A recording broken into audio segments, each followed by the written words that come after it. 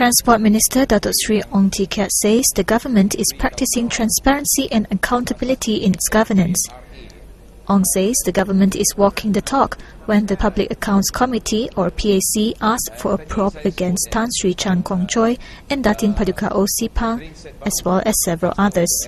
No, in fact, the thing is not for me to say I'm happy or not, but uh, I'm glad to to say one point. I'm glad to say one point that uh, you know the uh, the when we talk about when we talk about transparency, when we talk about accountability, this is it. And the government is now walking the talk. He said this in a press conference after visiting the Bangsar LRT station in Kuala Lumpur on Thursday.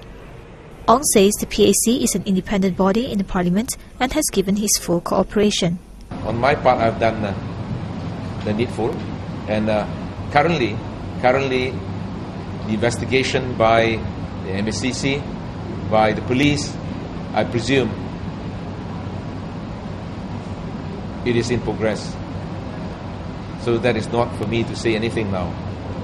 In its report on the Port Klang Free Zone on Wednesday, the PAC wants the Malaysian Anti-Corruption Commission or the police to initiate investigation against Chan and Phang for criminal breach of trust over the project. The two allegedly breached the Financial Procedures Act by issuing three letters of support and three letters of undertaking for the project without the Finance Ministry's approval. Jacqueline Wong, The Star, Malaysia.